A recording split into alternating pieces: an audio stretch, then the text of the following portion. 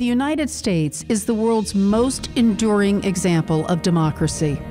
In this moment, the nation confronts historic challenges and opportunities for governance and engagement. Stories in Democracy, in partnership with Snow Libraries and the Daily Herald, explores the issues facing our communities and the future of democracy through a series of personal conversations with the congressional representatives of Snohomish and Island counties.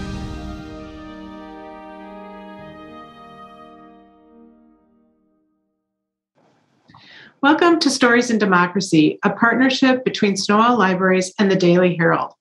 I'm Lois Langer Thompson, the Executive Director of Sno-Isle Libraries. Joining me is Jon Bauer, the editorial page editor of the Daily Herald newspaper. Together, we will discuss the future of our American democracy and representative government and explore opportunities for governance and engagement as the nation confronts historic challenges. Our guest today is Congresswoman Suzan DelBene, who represents Washington State's 1st Congressional District, which spans from Northeast King County to the Canadian border and includes parts of King, Snohomish, Skagit, and Whatcom counties. The Congresswoman was first sworn into the House of Representatives in November 2012. She currently serves as the Vice Chair on the House Ways and Means Committee, which is at the forefront of debate on our tax code healthcare reform, trade deals, and retirement security. Congresswoman DelBene also serves on the Select Revenue Measures and Trade Subcommittees and is the chair of the forward thinking New Democratic Coalition and co chair of the Women's High Tech Caucus, Internet of Things Caucus, and Dairy Caucus. Congresswoman DelBene's district includes seven of Sno-Isle Library's 23 community libraries, as well as several of our neighboring library systems. Welcome, Congresswoman DelBene. Thank you over to you for our first question. Thanks. And, and yes, welcome, Congresswoman. Thanks for joining us. Uh, I, I want to start with uh, a, a, little background on yourself and, and specifically uh, how and why you came to, to be in Congress. Well, it's a great question because I'm a pretty unlikely member of Congress. Um, I never thought I would be um, engaged in politics uh, or government. Um, I was a scientist. Uh, that was my passion. Um, I came out of out of college with a biology degree. Started my career in doing immunology research, um, and then I spent most of my professional life um, in the technology sector. Uh, I ran for office really because when I had the opportunity to think about what I wanted to do next, I really wanted to give back because my family had gone through a lot of struggles when I was growing up um, I feel like people made investments in me that gave me the opportunity to have the career that I did, be in a position to take care of my family. And um, those investments have been harder and harder to come by for young people growing up today. Um, I didn't graduate from college with um, debt, but many um, young people today have. And so um, I wanted to see what we could do to, to make sure that young people today had the same opportunities that I did. Um, I know our middle class has eroded over decades. And so um, I got engaged in nonprofit, got engaged in policy as a result, and figured um, if I wanted to make a difference, I should be willing to stand up and share my voice. And so I uh, kind of surprisingly ran for office, and here I am today. So I think the one big takeaway from this is anyone um, can be engaged and involved. It doesn't have to be a lifetime career for someone. I think we all have a chance to participate in our communities in different ways, um, and we should look forward to those opportunities as they come up. Thanks. It's a great story about um, that sometimes what seems like an unlikely path uh, toward an election and representing uh, your community. I wonder, as you've now been in Congress for a while, what keeps you in it? What keeps you motivated and inspired every day to go to work? Um, knowing that I can make a difference. I think that's really the knowing that if you want to help see change to make sure that everyone has opportunity across our country, um, I want to be part of that. I want to be doing my part. And so that's what really motivated me to run in the first place, but continues to motivate me today um, to make a difference. It takes all of us, and we all have a role to play. And I want to make sure that I'm doing my part to help represent our incredible community. I, I want to ask you uh, kind of about the, the current atmosphere in Congress. And, and you know, there have been uh, some definite successes, but there's also uh, continued debate and, and, and uh, just kind of a glacial pace to other issues. Um, what are your feelings about that? Um, uh, that and, and even recognizing that there's um, there isn't consensus yet uh, among Democrats on some issues. Well, you know, when I came to Congress starting at the end of 2012, the atmosphere was very divisive. Folks were talking about it, uh, how this was a divisive time in our government. Um, unfortunately, it's only gotten worse uh, over this over this period of time. Um, divisions have intensified. Uh, I think that that has become even more pronounced in the last four years, where we've had a president who pushed to create division. Um, I think people generally want to see governance work. They want to see people come together. Um, I have a purple district, and you know, with every kind of political point of view possible represented in my district. And I think that th- that's been really important to hear different voices, to let your ideas be challenged. And, um, and as a result, I think that it makes you a better legislator. And I think to be a good legislator, we have to listen, understand. That doesn't mean you can't disagree. Yeah, we will disagree, but at least let your ideas be challenged um, and make the right decision for the country. And in the end, I think that's really what we need to see is people putting country first, um, not party. And I think that would help us uh, kind of bridge the gaps that we see today. But it's been a very challenging environment, and right now, an extremely divisive Congress. As you um, talk about that a little bit, I wonder if you could talk about how you and your staff working there uh, your concerns around democracy and representative government. What what concerns do you have? And then, if you could also think, uh, talk a little bit as a scientist, how you approach uh, this time in history and how you see where we are as a country. Well, um, I am very concerned about our democracy today. I think we all should be.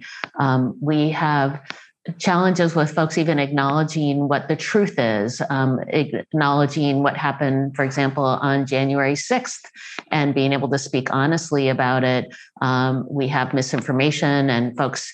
Uh, uh um, uncertain about where the information is coming from and and trust probably underlying all of that is made it very divisive and very challenging. Um, and we've had elective leaders who've actively undermined the faith and trust in our electoral system. Um, we have folks trying to take away access to the ballot across the country. Um, so that's about as fundamental as it gets. And uh, these are concerns that are shared across our communities. So um, if we don't make sure that we're participating and making a difference, we could be in a place where our elections aren't deciding um, who our representatives are. We have others kind of deciding the outcome of an election. So this is a critical time for people to be engaged and involved. And when you talk about this in terms of the the what it means for us, um, how this critical time in our country, this will be something that we all look back on, how we responded, um, you know the everyone has said you know democracy is a fragile thing um, and it's important thing you got to work hard um, to keep our democracy and that means we all have to stand up for kind of our underlying values but also um, stand up for the basic principles of democracy and that means um, and i think voting rights are probably some of the most fundamental rights um, to making sure that we have that representative democracy mm-hmm. Um, I, I, kind of continuing along that line, um, I wonder, I, would like to hear from you what you would like to see from your constituents b- beyond just getting out to vote. What, uh, what do you want to see them, uh, how do you want to see them participate in, in government and, and what would you like to be hearing from them? Well, I do think I'll reemphasize again um, we do need people to vote. We do need people to be engaged and involved in our democracy. Um, we, we either thrive or struggle together across our communities. I think the pandemic has really showed everyone that how important it is to come together and help each other out. Um, I think that we also, um, it's so important that we make sure that everyone in our, our community needs the opportunity to succeed, to feel safe where they live, to have healthy food to eat. Um, and we have to make sure that we also respect each other and respect the diversity in our communities. Um, most of all, I think that people do have to participate. Participate means voting, but it also means um, being engaged and involved in communities, helping make decisions, working together um, with neighbors and others, uh, listening to people who disagree with you and listening to their views and trying to understand that. Let your ideas be challenged.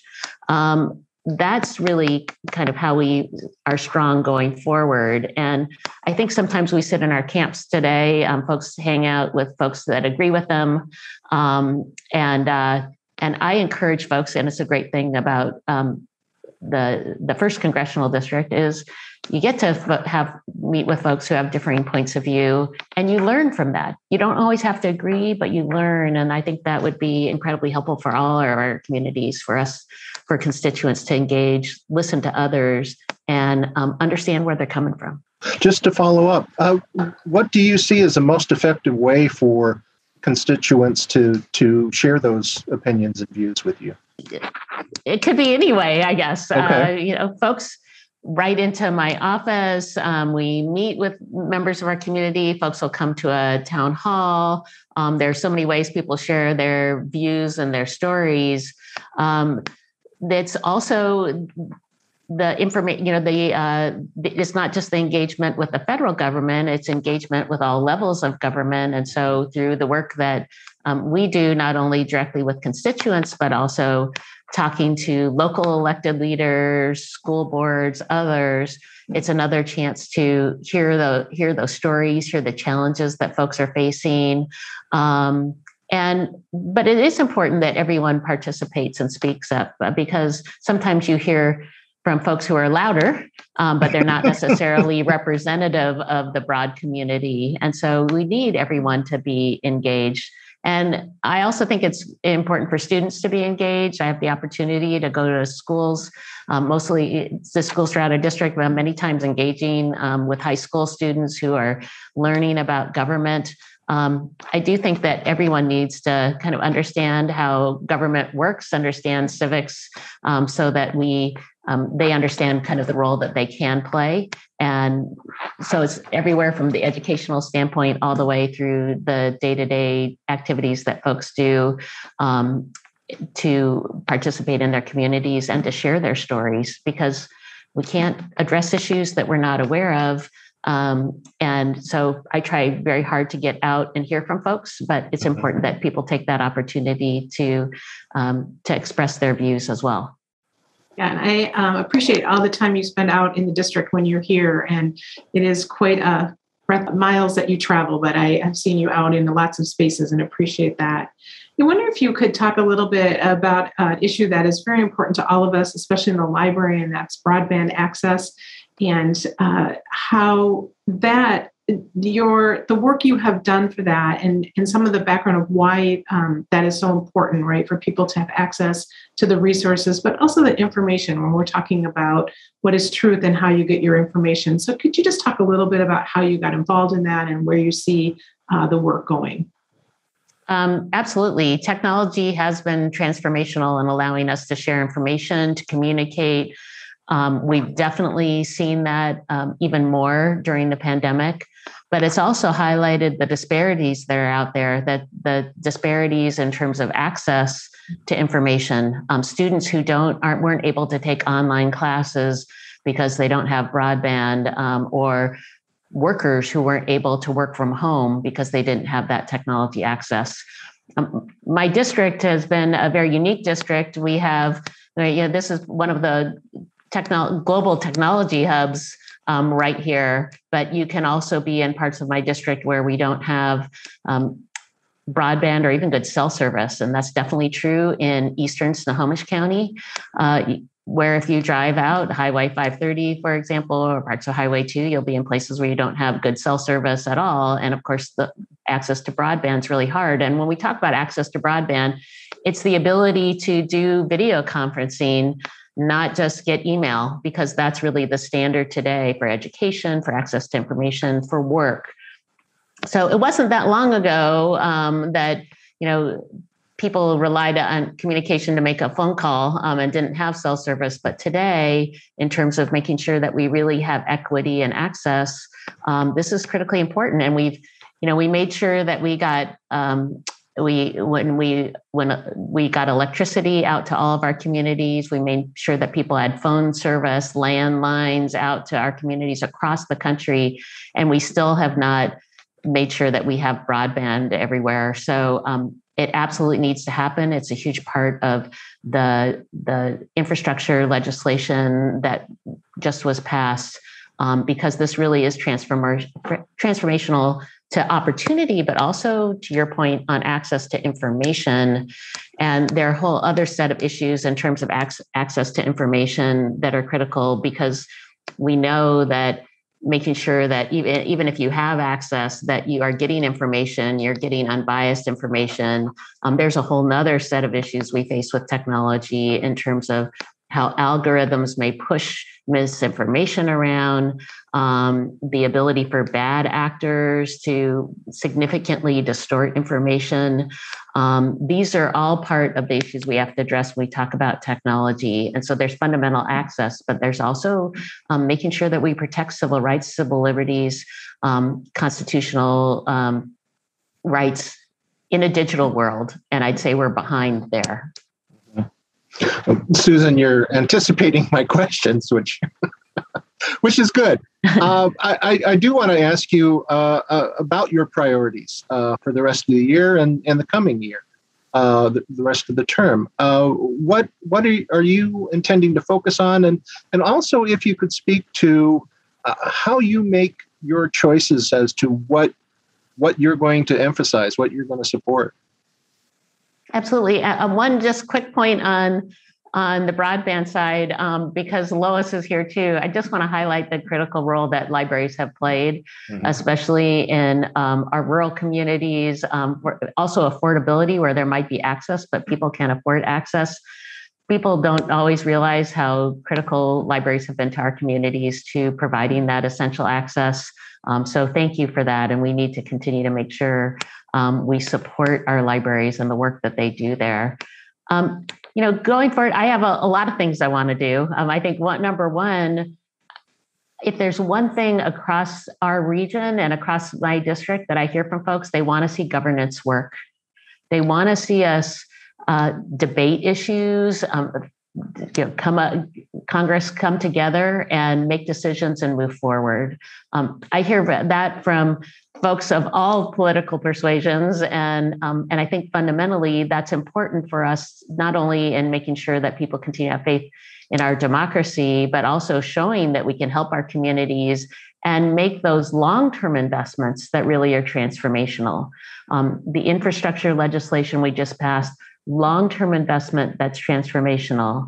Um, I we started with the expanded child tax credit, um, getting checks out to families to help them take care of their children. This has been uh, critically important. Over 3 million kids across the country have been lifted out of poverty since those checks started going out last July. We need to keep that going. A huge uh, a priority of mine is to make sure we continue that. I'd like to see the expanded child tax credit made permanent.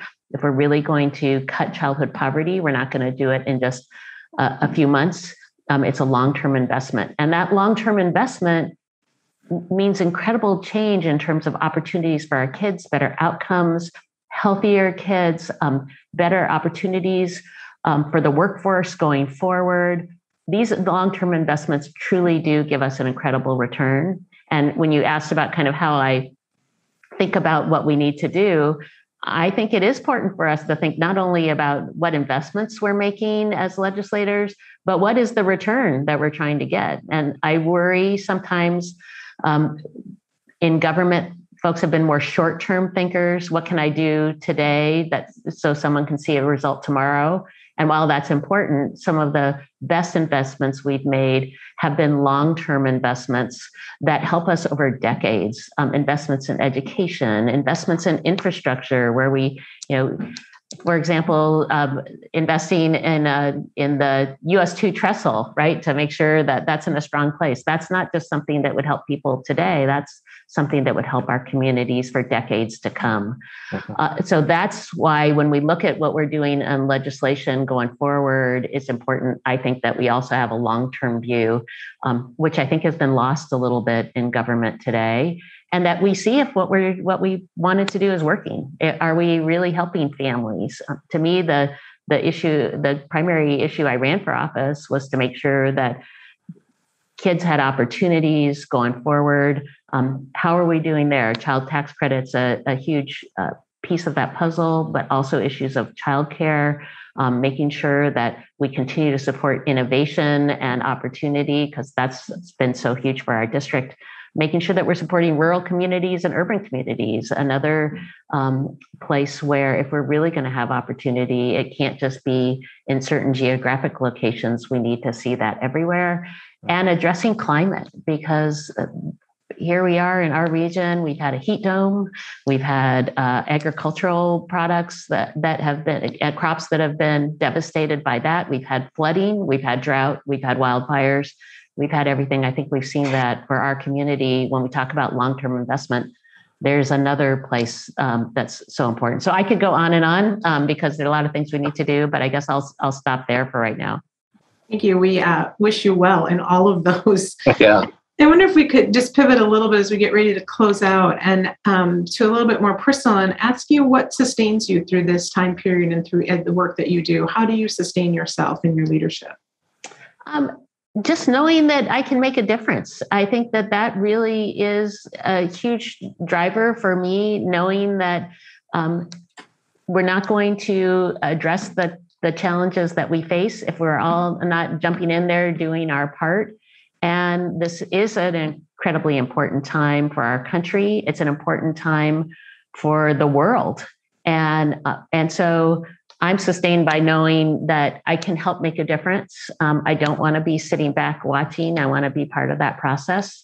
And also by the incredible community that I represent, all of the people who are engaged and involved, they inspire me, and that helps me do uh, do my job in the other Washington. So um, it's all of that together. And then, of course, I wouldn't be a librarian and this wouldn't be Stories in Democracy if I didn't ask you what podcast or book you're recommending right now.